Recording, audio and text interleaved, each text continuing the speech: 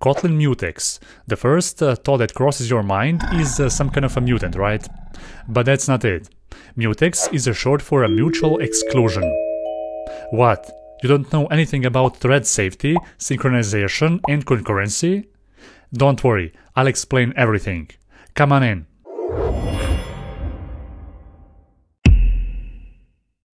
In a world of Kotlin coroutines, Mutex is a synchronization tool designed to control the access to a shared resources within coroutines. It uh, acts as a lock, guaranteeing that uh, only one coroutine can access a critical section of the code at a time. This prevents race conditions and uh, data corruptions that uh, could arise from uh, concurrent modifications. To help you understand this even better, let me give you a real world analogy. Let's say that uh, you live in a house with uh, three people, where uh, only one bathroom exists. In this analogy, people are coroutines and the bathroom is a shared resource. A mutex in this scenario is a door that uh, separates people from the bathroom. When a person wants to go to the bathroom, it takes a key, enters the room, and uh, locks the door. In this scenario, just imagine that uh, only one person can enter the bathroom at the same time. This means that the first coroutine has acquired a mutex lock, and it's using a shared resource. When other coroutines try to use that uh, shared resource, they are suspended because another coroutine already holds the mutex lock and uh, is executing a certain task which means that other people need to wait in a line, assuming that the waiting in a line is a non-blocking operation, until the first person who's using the bathroom leaves the room. And that's when a mutex lock is released. So that the next coroutine can acquire a mutex lock, enter the bathroom, and uh, use the shared resource all over again. When that happens, a person unlocks the door and gives the key to the next person waiting in line. Now, one interesting scenario. What if the person inside the bathroom suddenly encounters a health issue and collapses? People outside the bathroom are uh, still gonna wait for that key indefinitely and never gonna access that uh, shared resource. However, there is a safety mechanism that uh, allows us to obtain the key back if something bad happens. In code, that means we observe the execution and the call unlock function if an exception occurs. Even if nothing bad happens, we still want to make sure to unlock the mutex after the task is complete. So here is what we have learned so far. Kotlin Mutex class is uh, specifically designed for a use within the coroutines framework. Mutex is a specific type of a synchronization mechanism used to achieve thread safety. By using mutex to control the access to the shared resource, you essentially synchronize how threads interact with them. However, due to its uh, suspending nature, it's uh, not supposed to be used with uh, threads without coroutines. While technically possible, using a mutex with regular threads in Kotlin isn't the most uh, suitable approach. Here is why. The lock function wouldn't truly block the thread as uh, it would in a traditional thread synchronization. Instead, the thread uh, might just be switched to another thread while waiting. And this behavior uh, doesn't fully leverage the suspending nature of the lock functionality, potentially leading to a less efficient uh, synchronization in a pure thread environment. If you are primarily working with threads and not coroutines in Kotlin, you should use uh, other tools like a synchronized function. But I'm gonna talk about that and showcase an example a little bit later in this video. So keep watching, it's a really important topic for every Kotlin developer. Alright, so enough theory, let's see some uh, practical examples. We're gonna start with a simple one. I have already prepared a project, right? So in this uh, one screen app, we have a one text on the center of the screen. This uh, text element is uh, tied to a counter variable which initial value is 0. For the simplicity, I will add the launched effect block that uh, triggers once we enter the composition. When that happens, I want to launch uh, 10 different coroutines where uh, each one of them will increase the counter by uh, 1 after a delay of a 1 second. what will happen after we launch this application is that uh, after one second, the counter will immediately update to number 10. Because coroutines are uh, super fast and uh, are executed in a parallel. And you're not gonna even notice that this code was executed 10 times actually. So what just happened? In this concurrent environment, 10 different coroutines have accessed the same shared resource at the same time, which is great. Concurrency is great. However, with the mutex, we can make sure that uh, each one of those uh, 10 coroutines are suspended and awaiting their turn to get an access to a shared resource.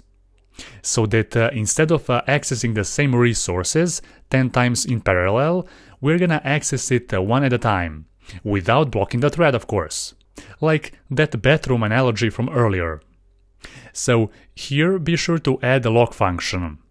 Then in the try block add the logic and in the finally block don't forget to unlock the mutex or otherwise you may encounter a deadlock. So it's really important.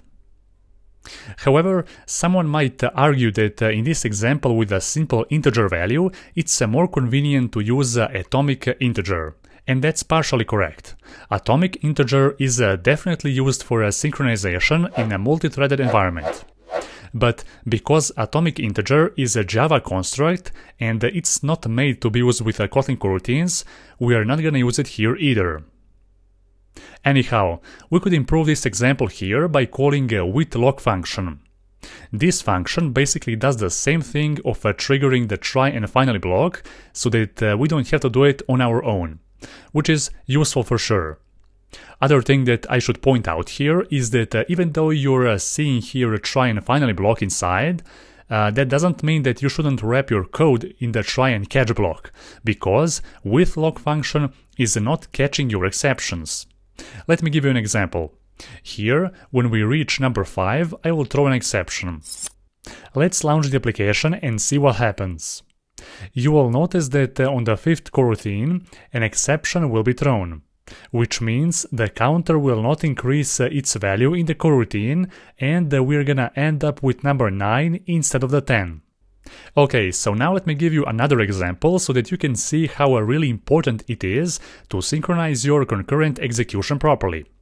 Let's say that we are building an app for a bank, right? A bank is a critical application because it works directly with the money. Here, for the simplicity, I will add the one property that will represent the user balance. We can add the one a private mutable, while the second one a immutable and exposed to the public. Inside we can add two functions, one to receive the money and the second one to spend it. For us as a bank, it is really important to make sure that people can spend only the money that they have on their account. For the UI of this example, I will create another screen that will display the current user balance on the center, but also two buttons below to send and receive the money. On top of all of that, be sure to initialize the bank class, observe the current balance property, and create a one coroutine scope to trigger those uh, two banking functions. Because they are suspend functions. Now, imagine that for some reason this suspend function is uh, executed multiple times from different coroutines. Like when we press a button, or even if some bug tries to trigger it. In this case, we're gonna click the spend button to trigger multiple executions from a multiple coroutines. When that happens, even though we have added an if check, the balance will become negative. Now, let's try adding a mutex to this example to avoid this uh, critical issue. So, let's wrap uh, all of those uh, functions within the with lock function. Great. Run the application, click the first button to add some balance, and then click the button to spend it. As you can see, now we were able to trigger an asynchronous operation by uh, synchronizing our coroutines to access the shared resource one at a time. Amazing. Now the last uh, thing, I want to talk about uh, singletons and the mutex. So, a singleton pattern itself does not guarantee thread safety for internal modifications. If a singleton holds a shared resource that needs concurrent access, you might still need to use mutex within its functions to control the access. I've told you earlier in this video that you can use a synchronize function to create a singleton within your class. So let's mark our bank class with a private constructor. It means that now we are unable to construct this class. And instead, we're gonna add a companion object with a function that will be able to provide a single instance of this class instead. The volatile annotation allows us to access instance in a thread-safe manner. Now here in this example, it's uh, technically possible to use uh, mutex here instead of the synchronized block. But that's not a good idea, because mutex functions are suspend functions, which would result in this uh, class being initialized only from a coroutine scope, which we don't need actually. And even if we avoid that somehow, the synchronize function is a lot simpler for this scenario, which fits better. So, to summarize all of this once again, Mutex is a thread-safe mechanism for ensuring only one thread or a coroutine can access a shared resource at a time. They help synchronize access to critical sections of the code that uh, modify a shared state. Unlike synchronize block, mutex offer a more precise control over which section of the code requires synchronization. But also, acquiring and releasing locks can introduce some overhead, potentially impacting a performance. So there it is, those were some basic information about Kotlin Mutex. Anyhow, let me know your thoughts in the mm-hmm. comment section down below. What do you think about the things that I've said? Do you have something more to add? What's your overall experience? Feel free to share that down below. Other than that, don't forget to leave a like, but only if you find this video helpful. Thank you for watching.